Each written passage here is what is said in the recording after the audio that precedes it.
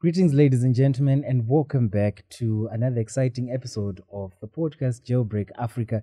This is the podcast where we are trying to liberate African minds for entrepreneurial success. And as always, I'm joined by Jeremy Zungu, the chartered vendor. Comrade, how are you? I'm okay, comrade. How are you doing? I'm not so well. Why? I'm not so. We are in January. Uh, January disease. uh, last time I heard, you know, that uh, we're colonized by the whites. So the whites used to say January is not easy. All right. Then our forefathers had, as if it's being said, January disease. Says January is not easy. Okay, January is not easy. Exactly, just like where we come from in Um, Watomba. Yeah, It's not Watomba. It was? Watson Bar. yeah, yeah. Yeah. And then our Then the guys just said, no, I think it's Watomba. I also heard the classical one about uh, Gonyet. exactly. So it was the the white guys were asking, "Uti, "Is the track Gonyet?" Yeah. And we picked up Gonyet, Going it. and then it became Gonyet since, Yeah. since then. And you know where Old Mutare is? There's clo- close by. It's called Pafrix. yeah, Pafrix, yeah, I, I It's, remember it's, the it's. Felix. Is it? that one I didn't know. That one I didn't know. If you've got any other places that you know, or any other items or things that we live by today that we probably borrowed from those times, please do share them in the comment section. Would be happy to read about them. So yeah, I was talking about my January being not easy, which I interpreted as January disease. Mhm. So I figured, um, right now, if I check my pockets, I don't have a lot of money. My spending is a bit controlled, and you know, I've I've told the wife at home to say, please, eat, take it easy on the cooking oil. Please, let's let's just make it until the end of the month, and then you go back to your to your old ways. So that means no more fate cooks, no more French fries, or any of those things that require That consume a lot of uh, cooking oil. Exactly. So I figured my, myself that if I'm cutting back on certain items because we're in January, that means I'm a I'm a client somewhere. I'm a service provider. I'm a client somewhere. So for someone who was expecting to sell me cooking oil, I'm not going to buy Exactly. because I don't have the money. so now let's talk about sales in regards to January being not easy or January diseases they call it. Mhm. How do you navigate selling in January? Mm, to me, what I, what I know is uh, there's what is called the 90 day phenomenon. Uh, it's, it's like uh, when you don't work hard today, Mhm. it will affect you in March. So for me, uh, I think for the last past uh, past five years, I prepare for January in November or in October. So it means in October and November, I'm supposed to be prospecting a lot, looking for potential clients, and uh, I should be looking for a lot of clients, a lot of customers, so that probably if I'm looking, if I'm if I'm supposed to be closing five deals, it simply means if my ratio of closing one one deal, my ratio is twenty percent.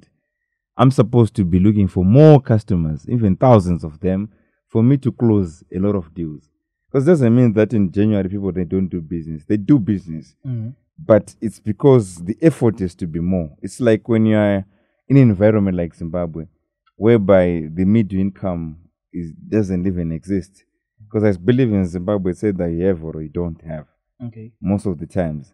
So it's uh, when you've got the upper class and the lower class only, it simply means that that economy has got a lot of struggle, and it also means that it, you're supposed to put more effort. That's why you always see me advocating for people to work during weekends, people to work during holidays, people to put more hours at work. Because if you're in a normal economy, yes, you can work in eight hours and get whatever you want. But in an economy like ours, I'm actually surprised that we close on Sunday. We close on Saturdays. There are companies which can actually work from Monday to Friday only, then they're satisfied. Or they're even complaining of January, but they're only They're working only from working from from what Monday, to Friday, and they only work from eight to four thirty. Then they will complain again that January is not easy. I don't think those people are being honest. So how I prepare for it Mm. when I'm getting into a tougher match, I'm supposed to my preparation is supposed to be done. I I'm supposed It to be working resemble the challenge. exactly, Yeah. but you want to to to to prepare uh, mediocre preparation for a challenge which is bigger. So it doesn't work that way. So to me, January is just like another month, even a better month. because everyone will be crying. As most of the people are crying, you know, it's the psychology. Like even during COVID 19, Mm. that's when we actually grew as a company. Why? Because most of the people they retreated. But you continue. You continue pushing. in the face of Because I would rather die, I would rather put my last cent. you Yeah? said you'd rather die. I would rather die trying, yeah, than Wow. quitting or retreating. Yeah, so yeah, to me, it's always offensive. I'm also always pushing in the market, making sure that, like right now, all the salespeople are supposed to be out there looking for that small dollar, that uh, few dollars which are in the market. That's what we're doing. Well, you, you highlighted a key dynamic of the Zimbabwean economy uh, that uh, the middle the middle income people they are almost not in existence. It's usually the upper top and the, the lower. Either you have or you don't, Don't have. So as a result, um, from a business perspective, you are on the offensive side, You're attacking, Mm. making sure that you get the sales trickling in and making sure that January is like any other month. But then for the majority of the people, they are in defensive mode. Like I just told you, we're cutting back on buying cooking oil, you know, we're in defense mode because we're trying to protect the little that we have. We just believe that uh, I cannot be spending money or investing any money in January because who is going to buy from me? Mm. Unless if you're probably selling the essentials. Which brings me to a conversation. My name is Mzukur from South Africa. Mm. You know, when when when he came through, he asked me, Seguru, you are always crying in Zimbabwe. Everyone in Zimbabwe is crying. But when I look at the cell phones that people in Zimbabwe use, they are expensive. Where do you get the money? Then I, I, I told him, that's when I realized the, the whole phenomenon that we, we, we, we have the upper class and the lower class, the in betweeners, they're almost non existent. So I explained to him that um, people, the people who are working, they've got money. But the money that they have is not enough to buy a property like you'd expect. It's not enough to buy a car like you'd expect. So the only way to satisfy their hard work is for themselves to get a very nice phone. That's the only thing that would make sense for them. So back to our conversation. Mm. Uh, there are people we have currently, and the jobs that they're employed at, they get a, a salary that is somewhat basic, you know, minimal to an extent. But then the things that they achieve from saving, they save a lot of money and then they do whatever they do. What's your take on saving and investing? Uh, firstly, I would like to beg to differ in terms of uh, Zimbabweans Yeah. buying phones because that's what is going to satisfy them Yeah. because they don't have. Uh, Uh, the to me. truth is, Yeah. Zimbabweans they like showing off. so if you notice right now, uh, probably a city with uh, most of the Mercedes Benz Mhm. in, in, in Southern Africa, it might be Harare. uh, probably. If it's not Harare, okay. iPhones, Uh, Harare. Uh, whatever, GD6, Harare. Because it's, it's all about. I, I, I've been in Lusaka, I've been in Joburg, I've been in a lot of cities, Gaborone. I tell you, the GD6 which you can find in Harare are plenty than those which you can find in Lusaka. okay. But I'm saying Lusaka is a much stable economy than Then Harare. Harare, yeah. But because as Zimbabweans, we are fond of gadgets, we like cars. Mhm. A car is a sign of success. A good phone is also a sign of su- success. At one point, I used to have a PA who was using an iPhone 13 when it was just released, Mm. but I was not even using an iPhone by then. At one point, at the PA, whilst I was using iPhone 12, she was already using iPhone 14, but Wow. she'd go with that iPhone 14 combis. Because why? It's a sign of status. When I was also asking a friend, she actually said no. She actually borrowed that phone. So she's paying in installments. Because why? She wants to maintain a certain status. But then it doesn't make sense now that you've got a very expensive phone, but you are going to board a combi. Does it make sense? That's the mindset of us. Most of us Zimbabweans. We like showing off. We like pretending That as we if we have. are rich, but we're not. I think I came across a very interesting quote that uh, I don't remember the author of that quote, but it was saying uh, people spend money that they don't have to impress uh, people that they don't even like with things that they don't own or something like that. Exactly. It, that's, that, that's what I believe, strongly believe with Zimbabweans. Because when you start getting into other cities, you start getting a different mindset. I've interacted and I've also stayed in Zambia. Mhm. You notice how these guys behave. Someone might be a millionaire, but you cannot even see it. Wow. You cannot, you cannot even see the car they're driving is it's a Corolla. Look at the foreigners who are getting into Zimbabwe. Mhm. You look at the Chinese. Mhm. You look at the Indians. An Indian will be driving a Corolla, but I tell you, you'll be owning half of Kagui. Yeah, that's very true. Hmm? That's very true. A, a, a Jewish should be owning a lot of things in Zimbabwe, but he'll be driving a Nissan Sunny. Huh? So- Chinese, Mm. huh? They don't even dress in fancy clothes. Yeah, especially the Chinese. You never see them in Vic Falls hmm? for a holiday. You never see them in Nyanga for a holiday, but they're backed up. Why? Is their culture. So, in terms of spending, Mm. we're just good spenders, the Zimbabweans. You're good at spending. We're good So- at spending what we don't have. Wow. Exactly. So, So, you see mm, someone driving an expensive car, mm, but it's it's just what they have between them and actually poverty. and poverty. So, but in our- terms our of poverty- investment, our eh, investment, saving, like what you're also asking, yeah, I- investing, I would rather have my money in investments, whereby I know that if I've got certain money, it's also generating money. Rather just probably just saving money for the sake of it. And when you save money for the rain day, surely to come. and you know, you know, if you ever notice that our mothers and fathers, they would say, okay, uh, like my father was a civil servant, he was a soldier. So you'd hear him that, no, I'm saving this at $200 for an emergency. After two days, you receive a message. There's a funeral. Mm. Mm. Because you've saved that money you, are, for what? you are prepared for You the funeral. for the That's funeral. why it's coming. If you are prepared for problems, problems will come. But if you say this money, I want to invest this money to generate more interest, Mm. that man will also hear what you're actually saying. So it's like a prayer. Mm, very interesting. Very interesting. So, uh, what does it say in terms of pre- being prepared? Because I know for businesses, businesses have got budgets. Every business ought to have a budget if it's supposed if it's going to survive. Yeah.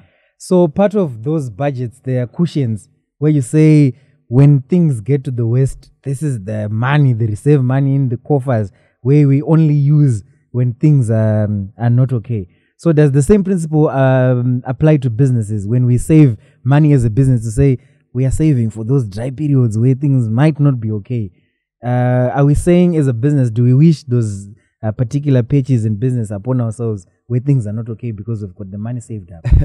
That that's what actually reminds me of what I say to my MD Mm. uh, the last time when I had a meeting with him, when we were appointing him. I actually said, you're a consultants firm. So a consultants firm does, it's not like a manufacturing company where they are consumables, Mm. we, we are not doing retailing.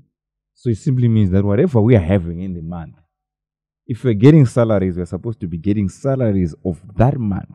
So if it means if you're putting 100% effort, if you're putting our all, we're supposed to be paid using the money which you've got from that month, Particular month. not not from last month, not Mm. what you have saved from last month. Mm. So what I say to him was simple: get your salaries, get whatever you want to run the company. Whatever is left is for the shareholder. Done. So when you're getting into the next month, you're getting in, in you're getting into that month, it's zero. So it means you're going to work more hard because you know that you're starting from zero. Someone who is saying, I've got salaries already for the next three months, Mm. they'll never put the more effort because they know that they have. They will put effort when the salary The starts when- running when- out. The when- savings when the account is running dry. Exactly. Wow, that's that's powerful. That's very interesting. So to me, I would rather stay at zero always. so that you put in the Because when I'm comfortable, I know that I'm I'm comfortable. I know that I have got a, a, a 20, a 50,000 stacked somewhere. Mm. So I know that ah, even if something comes, I can Mm. even pay salaries. I can even, if someone is sick, I can pay for that. Uh. so it's a disaster. Yeah, yeah, yeah, yeah. Makes a lot of sense. And then um, there's another thing that that struck me by by surprise. Um, I went to the bank. I wanted to open a bank account for one of my other ventures that I have. I wanted to open a separate bank account for it. The process has been has been hectic. It's like you're, you're, you're trying to open to, to up- it's, I, I- think opening a bank account in Zimbabwe, some of the banks, I is- don't understand. It's difficult than uh, getting a gun license. I know. I don't understand. Okay, so I, I've got issues with the requirements for banks, the KYC. I understand the process, the due diligence, absolutely fine, right? But the the proof of residence thing, what's to do with that? I mean, who owns properties in Zimbabwe? Like the the gener- the average person Most of the people they don't have they we, we we are we are renting so most of us. that you're putting a restriction to move to to Exactly. to, to probably ninety percent of the population. And why does it even matter? Why don't we ask for proof of raise for those who want to borrow loans? Perhaps Not someone who wants to open a bank account to open a bank account. Why? Why? crazy. So I remember you were having a conversation with uh, Tamuka. Exactly. We talked about that. the over, um, the over, um, you said the over regulation of Exactly, Africa exactly. is what is creating an impediment to to entry for certain markets. and corruption. do you do you know that it's easier for a foreigner to come and mine our lithium than for a local to set up a lithium mi- mining company? Okay, tell me more. So I was looking at um, the the investment portfolios that have been set aside for 2024, and most of them they are um, foreigner friendly. I don't know if it's a move to try and stimulate foreign direct investment, but it's at the expense of us locals. If I want to get a license to mine lithium, it's expensive, and it's it's it's almost impossible. But then if a foreigner comes, they just look at their capital base and their capacity and what they intend to do, and then they're given that that license. And guess what? According to the documentation, whatever other minerals they discover during the mining of lithium, it is none of our business. Say, for example, you're mining lithium, but maybe you just hit a gold sample. The gold belongs to them. Okay. The what's regulated is going to be the lithium. Yes. I'm sure the same thing has also been happening with certain mines, our local mines, like for example, um, the guys at uh, Mimosa. Mm-hmm. I, I would like to believe they mine for platinum, but then within their mining, they get a lot of deposits from silver, uh, your nickel, your gold, and whatnot. So they used to export it to South Africa in its ore form. Uh-huh. So the guys from South Africa were processing the platinum for them and removing the platinum, and they would pocket the rest of the discoveries.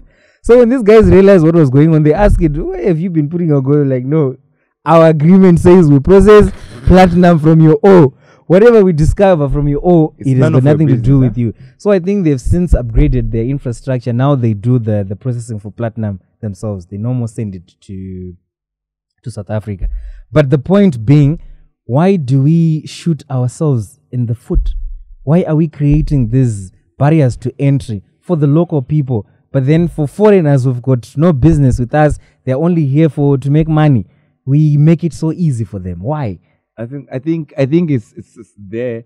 Uh, I I think it's a, this is the problem of Africa. That's what we're saying. Jailbreak Africa. Why do I say so? It's because um, if you notice, uh, we value we talk always when you when you see. I- think I've heard a lot of uh, in forums where people are talking of foreign direct investments, Mhm. but hardly I've heard people recognizing the local investors. Yeah, very true. And then these are the people who have actually helped this economy. These are the people, when they get money, they also spend the money in this economy. You know that most of the foreigners are not spending any cent in Zimbabwe. They don't. They actually export hard cash. Yeah, if you look at my Chinese friends, sometimes they can even import cooking oil. They can import everything, soaps, toothpaste, everything. What they're just coming to do in Zimbabwe is work Mhm. and they don't also i talked about tourism they don't visit any tourism any tourist tourism site Yeah, so what are true. what are we saying about the locals i think we should have a change of mindset whereby we should value african investors and especially the local investors Mhm. they must be put this must there, there must be a pri- priority Mhm. because these are the people who are employing people so we need to yes we need foreign direct investment Mhm. but we need to also start recognizing the local investors the local that's what i think That's very true. And uh, it's also said to note some of the the the most innovative ideas and noble ideas that have come from a social construct, they were actually birthed from the reason that the big institutions are creating barriers to entry by our very own local investors. I'll give you a perfect example. The Mukando. Mhm. Mukando was born after a certain group of people had business ideas that they wanted funding for, but the banks were not ready and willing to give them money because, based on their risk profile, as they call it, they were too risky to be lended money to. So, what these guys did is it was going to be you, me, and a couple of other guys. We want to start a business. So, we'll say, with the $100 that we have, we cannot do anything let's empower Jerry and put the money together, the 10 of us, so that we, we, we give him 1,000 US dollars. So when we give him a thousand bucks, he's going to have more capacity and hence more productivity. So Jerry will turn over the, the thousand bucks and make more money. Then next month, we're giving the next person more money. So it was a group of people who had business ideas that needed funding but couldn't get the funding from the banks. Which begs the question now if I went to a bank, say if let me put you in that scenario, if you went to the bank and they couldn't give you a loan because you are you are risky in a sense, Mm. then you put together your friends and then we give you money, then you start a business. Then the government comes and tells you to pay tax. Would you pay tax? That's, that's, that's, that's, that's, difficult for me to pay tax. I, I think that's the reason why we have been losing a lot of taxes because people cannot because tax means you are you are paying homage Exactly. to a system that denied you entry into a certain business. So why should I pay Why should tax? to pay taxes? That's true. Because you, you see, there are a lot of barriers to entry, Mm. especially in our, our economy. And uh, but if, but I think it's a bit opposite when you look at uh, co- I'm comparing probably Zimbabwe and Zambia. Mm. If you notice Zimbabwe, do you know that you you need you need more than I think it's about five thousand dollars for you to get an investor's license when you're a foreigner In Zambia. in Zimbabwe. Okay. Yeah. Five thousand. The Zida license, how much is it? Yeah, it's, Have you ever uh, checked? It's five K. Yeah. Five K. So it simply means that for a foreigner to get into Zimbabwe, they need more than almost 10,000 before they start anything. Let's talk about the And to, paperwork, make, and to make it worse right now, the banks have also said we're never going to open an account for a foreigner or for a local, you're a local person, then you find your own investor who is coming into Zimbabwe. Uh, It simply means that automatically you now require Zida. why? But And I, I'm all a local. barriers- that's why you see that most of the people, when people they want to invest into Zimbabwe, Uh, they'll dump Zimbabwe, and then that investment will get into Zambia. Wow. I, I, I, I yes, because that's where we are. That's the sector which we are in. So someone will say, "Why should I give you ten thousand before I do anything?" Because remember, when we even got into Zambia doing our business, Mm. we're not sure. We we we're not settled to say no. We are going to do business in Zambia. So you're, you're testing waters. Mm. So if you bring probably you want to bring money which you are ready to lose, and say probably I want to bring this much and I'm ready to lose that. If it doesn't work, I can try another country. But imagine uh, you're an investor, you want to try with ten thousand only for registration. Here we're not. There's no office. There's, no nothing. setting up for any factory. Uh, There's no importing of any equipment. This is only for you to get the paperwork done. just for you to be legally here. Exactly. Ten thousand. So I, I also want to say to the government, this is also um, making investors afraid of getting into Zimbabwe. Yeah, because I think the model would work best if we allow investors to come in, they set up their infrastructure and everything, and then we get that money as kickbacks in, in, in tax. Probably maybe we can say when investor comes, they, they just do the normal process at normal fees like a citizen for Mhm. Zimbabwe. But then when they start paying tax, they start by paying maybe a higher tax or something like that, so that they recoup the money that they so want upfront. Mm. Because it doesn't make sense for me. Maybe sometimes I'm just coming here to see if I can set up a business in Zimbabwe. Uh-huh. Maybe I just want to try out a certain business before I can invest wholly in Zimbabwe, Mhm. and I already need to pump out 10k. Exactly. Let me tell you like a model which is in Zambia. In Okay. Zambia, you can own a business. Mhm. Because sometimes I want to just register a business in Zambia, in Zimbabwe, Mhm. but it doesn't mean that I want to run that business. So I don't, I don't require work permits. I don't require immigration. So it simply means what I just want is for me to have control Mhm. in the company which I own. You Only. get what I mean? Yeah. So, but right now, when I'm just a shareholder in that company, these guys they want us, they want me to get a license to to, to get a Zida license. Mhm. For me to get a Zida license, I'm supposed to follow. For me to get a bank account, let me. For me to get a bank account, Mhm. I'm required to have a Zida license. I'm also required to have a work permit. Mhm. But I don't want a work permit. I don't want an investor's permit. Yeah. What I just want is for me to have my shareholding. But I'm forced to have all these documents. Okay. But in Let's- Zambia, you can just be a shareholder, Uh. without even a work permit, without an investor's permit, but you can go and open a bank account, obviously, without the Zambian directors. All right. I'm I'm trying to I'm trying to understand the regulator. Let's let's let's reverse the process. Let's put ourselves in their shoes. Why would they require all of that from investors? Say this is you and me, we are the government. Why would we require five thousand from an investor who's coming from Australia? Let's let's think along those lines. I- Why? I, I don't want. I don't want to quote. I didn't want to quote Dr. Mangudya. Remember what he said. what did you say? He said we we are not getting foreign currency outside the country, so we get it inside. Inside. But you know, w- when you look at Zimbabwe, it's very interesting. We we have money. Zimbabweans have It's true, money. it's true. Zimbabweans. I, I, I, I believe in that. We and, have I, and I, also. I also believe that the, the, the government is, is even lenient in terms of taxing people. Is it? I, I, I strongly think that. Well, personally, I, I feel like we've got the, the, the, the highest taxation rate in, anywhere in I, Africa. I, I don't think that. I, yes, the rates are, are high, but to be honest, um, the government is not tight. It's not okay, tough. the process is fair. it's not tough in terms of pushing people to pay taxes. Yeah, yeah, maybe Yeah, If- if compliance. you check, they don't really check really. the regulator in South Africa. Ah, South African, South African revenue services. Yes, yes, yes. Those people are serious. Yeah, They're serious. They can even garnish. your I feel like our you system has got a lot, a lot of loopholes. Okay. And most of the, I've said it on my Facebook, that most of the people, what they are calling profit is actually taxes which they are not paying to the government. Okay. yeah. So com- some companies are reporting high VAT, profits. they are not paying to the government. To the, to the government is what Yeah, they're calling You, profit. you mentioned VAT. yeah. Uh, the current um, tax structure says uh, VAT has been reduced to how much? They're saying you, when you are a, a, a, business, Mm. uh, when you're operating, when you're just making 25,000 in a year, you're supposed to be VAT registered.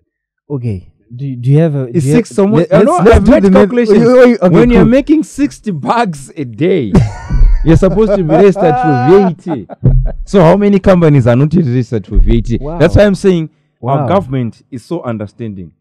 They, Wow. If they are going to eat, I tell you, almost everyone is going to be found wanting because they are not paying enough taxes. I think with that we, It's we, almost we 60 need, bucks, We huh? need to start teaching people about tax evasion. no, we don't want to teach them about tax evasion, but we rather to, to do what is called tax avoidance, which is legal. Which is legal. Yeah, yeah, yeah. Avoidance, Mm. avoidance. So one of the classical ways to avoid taxes that I've also picked out is I don't know if you if you know from the from the from the from the whole the cash flow the income statement. It seems as if the government allows you to pay interest to all the loans that you own that you owe, Mm. and then before you pay them tax. Mm, mm. So if you're gonna minimize on your tax, just get a loan. Yeah, or even get assets. But what I just want to say is, uh, I, I think, yes, the government, especially in Zimbabwe, is so understanding in terms of taxes. Okay. If you get into countries like Zambia, South Africa, the, the authorities there, they are strict in terms of taxes as well. Why do I feel like you've been in tax trouble and you were forgiven? Huh? No, I work with the, what, what happens is part of our business, you remember, we've got an accounting firm. Mm. So it deals with a lot of tax issues. So I know what is happening in the tax, so in the with the taxes in Zimbabwe. So what I'm saying is, yes, as much we feel like we are overtaxed through the two percent. Uh, uh, the, it's called the Professor Mthuli tax. Shout out Yeah. to him. It's called a tax. But anyway, uh, it's the two percent taxes. But what I f- strongly feel is, even if we're taxed the two percent, it's not enough. Remember, almost 90% of the money which is circulating in Zimbabwe, it's not even passing through the bank. Yeah, it's not These are cash, cash transactions. Yeah, So it true. simply means that the 2% taxes are being avoided. Mm. Hmm? So, but is the person who is avoiding the 2% tax paying the income tax? Mm. Are they paying the VAT? Are they paying the capital gains? People are, are, are selling themselves, they are selling shares in the companies. Are they paying capital gains? So let us be mm. fair.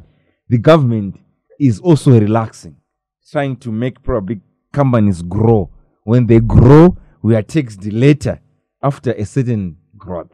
But if probably if government was going to hit on each and every company, Mm. I tell you, most of the companies will not survive. Very interesting. And also, you you mentioned the the whole ordeal that people who are trading in cash, they are seemingly avoiding the two percent tax because it's not taxed on cash, Mm-hmm. but your RTGS transactions, right? So Not the- even the- on the, US, but when it passes through the what the bank the banking system. okay. But if we, we are trading you and me, when you pay me In cash, cash, then the two percent the percent two is percent is non-existent. non-existent. Okay, so I was going to talk about a global trend uh, where other countries in the in the first world and the developed countries they've been working on a on a different breed in terms of uh, currency, which they're calling the CBDCs. I don't know if you've heard about them, the central bank digital currencies. So those ones are going to create an, a cashless society. Cash is going to disappear all the way. So that means this Man, whole. Ah, b- they're, they're trying to push the, the CBDC so that they adopt it globally. Uh, I don't know about the benefits of that. Obviously, one of them being the ability to monitor criminal activity. Because remember, criminals transact in cash, mm. no paper trail. Even if you're going to loan the money, usually you do it in cash because you can't trace cash, right? So when the CBDCs come, as Zimbabweans, are we going to be ready for them? Because remember, even the RBZ, the RBZ, they've got a sandbox program Yeah. where they were experimenting with these central bank digital currencies. And they are so open to that. I remember, is it uh, Gua, Gua, Guamatunu, Guamatano? What's, Ah, what's his no, Mr. Mr. Uh, Dr. George Guvamatanga. Exactly, the Guamatano. permanent secretary of exactly Finance. yeah he was he was mentioned i remember there's an interview that i saw of him where he was criticizing cryptocurrencies but advocating for the central bank digital currencies Yeah, but, but my question now is we've got countries like America. Mm. America, they just print money, circulate it. They just Mm. print trillions. I think you heard what happened with the Ukraine war. They just print billions, yes send them into what? Ukraine. Ukraine. They're printing them from because you- you, for you to print money, you're supposed to have gold. yeah But is America i know it's not applicable in America? not even against So the any fundamentals is- yeah Is also is the America ready to do away with the hard currency, the US dollar? Well, I've I've been reading the article in terms of uh, how America views the CBDCs, and apparently they seem to be pushing for it. The main reason why they're pushing for it is because they're trying to sideline the Bitcoin, since it has more traction that side, and also uh, CBDCs they spell a lot of control. Maybe let me let me break it down for you how they work. Mm. So, with the central bank digital currency, the government controls the currency in its totality, different from cash. So, what then happens with the CBDCs? They can tell you how much to spend on what products and where to spend it on. Let me give you a working example. Because they can track that currency fluently. If uh, M&J is not tax compliant, the government can decide to say, as a way of us punishing M&J for not being tax compliant, no one is going to get services from M&J. Mhm. So what it means is if you go out and sell, yes, you sell, but when it comes to your clients paying you in CBDCs, their transactions will not go through. Not by virtue of the account, but the moment you point the CBDC to pay M&J, because that transaction is barred by the government, they'll ban it. For example, if they say everyone should use electrical vehicles, if you want to buy fuel from any fuel station, the money will not go through because you're trying to buy from.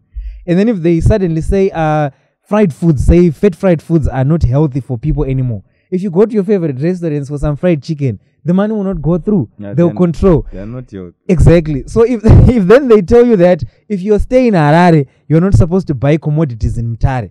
If you take your CBDCs to Mutare, you can only buy other things except commodities. So America is very interested in controlling. That's what they're obsessed with, control. So they are pushing it big Okay. time. They really want it. I'm so afraid that when it comes this side, Will it work? yeah, will it work? Do we have the right frameworks in place No, for the, us the to issues, adopt? the issues, uh, the truth is, uh, we, we, we, we, we've got a lot of challenges in our economy. And Mm. I think part of the challenge is we've got sanctions. Mm. We cannot deny them. I Yeah, know that most true. of the people, they will say, no, I'm not being political, but sanctions exist. They do exist. and you start uh, knowing that they really exist when you reach at a certain level, when you want to transact, True. especially globally. True. And also when you want to, I, I will tell you, for example, we wanted to get a license for Pastel. You know Mm. Pastel. Yeah, Pastel. Yeah, I know it. The, the American owned. The American owned, the Sage Pastel. Yeah. So what they said is, no, we're not, we're not going to give you a license because you're a Zimbabwean company. Why? Because we're in the same category in terms of sanctions with Afghanistan. What? I'm telling you. We're not- check we- on their we- website right We're now. not a war zone. Check on their website. We are the only country which is there with sanctions on on on Pastel, which doesn't have a, a war. Wow. Yeah, but it's it's true. Yeah. The the conversation about sanctions, it's a it's a genuine one, and like you're rightfully saying, you deny the existence until you get to a certain level. Exactly. I've got a friend who was also applying for a scholarship. He was applying from South Africa. Uh-huh. He's in South Africa, but he's Zimbabwean. Uh-huh. So he went through the process and everything. So when it came to him sending his passport, that's when they realized that he's got a Zimbabwean passport. Passport. And, then they, they cut him off from the program and said, unfortunately, we are unable to proceed with you as a candidate exactly. because you are coming from Zimbabwe. And currently, Zimbabwe is on our sanction list, so we cannot work with So you. only start appreciating that when sanctions they hit you. And guess what? We only got through, we only got our pastel license through the Zambian company smoothly. No questions asked, Mm, no problems. mm. So what I'm also saying is, yes, the problems are there in our country. So sometimes for us to beat sanctions, sometimes we have to use unorthodox ways True. including using cash. I don't blame whatever is happening currently because we've got problems in our country, and sometimes we have to cut corners for us to survive. Even in our continent, we've got a lot of problems. Mm. We've got a lot of disadvantages compared to any other continent in the world. That's very true. Yeah. So, what about the BRICS? Oh yeah, BRICS. I've been following that. so it's an amalgamation. You're talking about money. Yeah, it's an amalgamation between uh Do they have a for- currency now? Yeah, they do. The the I heard that there's they- a they- country. Is it Russia and uh, is it Russia and Iran? Maybe they were saying now they are now using, they are now trading use their using their BRICS currency, not US dollar. Yeah, yeah. And I'm sure it's giving America Iran for their money because remember, apart from the USD being named the greenback, it's called the petrodollar because that's that has been the medium of exchange for all the the crude oil going on around the world. And remember, the, the from the men who built America, the the likes of uh, the Rockefellers yeah. and the Rockefellers and everyone else, they are the ones who owned the the whole oil industry and supply system around the globe. So they are not happy. They're not happy with BRICS. And you remember, Russia is part of BRICS, and Russia has got one of the biggest oil reserves in the world. And our own South Africa is also part of it. Yeah. Talk of South Africa. Uh-huh. South Africa sending uh, jailbreak Africa. South Africa sending the mighty Israel to IC- ICC. Yeah. What's your comment on that? That was a bold move. Huh? That one was a bold move. Are we saying? Are we saying say, Africa is slowly breaking the chains? Yeah, we are. We Uh. are. Absolutely. And you know what? I've been noticing how our leaders have been speaking out in certain irregularity, irregularities that have been happening at the African Union and the European Union when they go to those meetings. I remember it was the president of uh, Uganda Hmm? who was telling those guys, Museveni. why do we have to go to Europe to talk about African affairs in Europe? If you're so concerned about African affairs, please come here. Come I down in also- Africa. I- we'll talk about it I here. also, I also like uh, William Ruto, uh, the president of Kenya, uh, when he said, "We are called as African heads of states mhm, for a USA Africa summit, mhm. and the American president is not there. is is not even there, and the African presidents they are bundled in a bus. Uh, Huh? They are put in a bus. Did you see the uh, the funeral? uh, Yeah. when the African presidents were put in the buses, they were put in the buses. but the American president was allowed. they to they came in their motorcade, their motorcades. Cadillacs and everything. Eh. Yeah. So can you say probably the bold move? I'm not sub- saying we're not supporting any side Mhm, between Israel and Palestine. mhm. But I'm supporting our African brothers to say, finally, a voice is now coming from South Africa. Mhm. Finally, Mhm. we are now having an African country being mentioned on a global stage Mhm. In global affairs. in global affairs. Yeah, that's that's very true. I'm also excited for the times that we're existing in because finally Africa has woken up. We are regarded as the sleeping giant, but I don't think anymore. my manje will be up and running and taking the, the trek. Because really, look at the influential African leaders, even Kagame, all the way from Rwanda. Exactly. They removed. They, he was asking about the um, the visa thing. Why do we? why do we, why do we have visa visas? to get into Rwanda? and he was talking about Visas how you in can Africa, you can e- cross across you can you can tra- travel across Europe Mm. using your, your your ID card only. If you belong to to to a to European European country, you can just use your ID or your passport to go through all the other countries in, in Even your ID card. Exactly. So he, he he led by example by removing any visa requirements if you want For to travel any to Rwanda. African country. Yeah, and Zimbabwe and Botswana, I, I don't think was it passed or they're still in, in, in talking. Mm. They wanted to abolish the, the passport between Passport between Zimbabwe. Exactly. yeah, but I, I, I still have some bit of reservations though. you know, you know how You know I'm, how I'm, our- I'm, I'm learning from what we did to South Africa when South Africa opened its borders to the World Cup in 2010. uh, We had a, they had a huge influx of Zimbabweans who were skilled. Our artisans went there, electricians, technicians, plumbers. You know, they were trying to put the World Cup together and build but stadiums. is it bad? No, it's not bad. But then they sort of like started doing their Zimbabwean thing in another country. You know, we kukira masova paine vaenzi. I- that, that, that's the best impression I can come up with. So I'm I'm now looking at Botswana.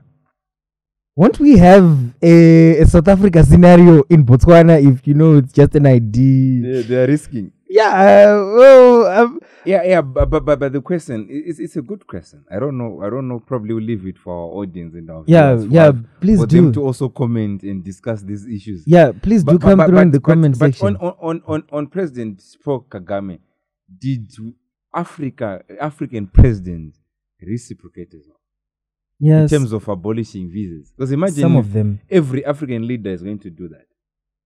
Yeah, What be- will happen to it will, it will be a very powerful move and i think it's this the step that step that we need towards the united states of africa the removal of uh those barriers All those barriers. yeah When I want to get into, you know, it, it's it's it's it's almost uh, it's it's less than 450 kilometers for me to get into Lusaka. mm. But I'm asked for a passport. I- rigorous documentation rigorous documentation. You're even given days. Mm. Most we've got brothers and sisters Mm. who are related to it. in staying in zambia Staying in Zambia, Yeah. staying in Botswana, staying in Mozambique. I don't know. Probably in our next episode, you're going to Probably. more on that. Yeah, definitely. Yeah, this has been an exciting episode of Jailbreak Africa. Do connect with us on our social media platforms. You can follow us and uh, please do share this video, subscribe, and turn on the notifications so that you don't miss out. And of course, we are offering sponsorship opportunities if you'd like to sponsor this podcast, any segment of it. Yeah, please do come through. Our contact information and details are going to be in the credits of this video as well as in the description. Otherwise, from me to you, peace out. See you next time.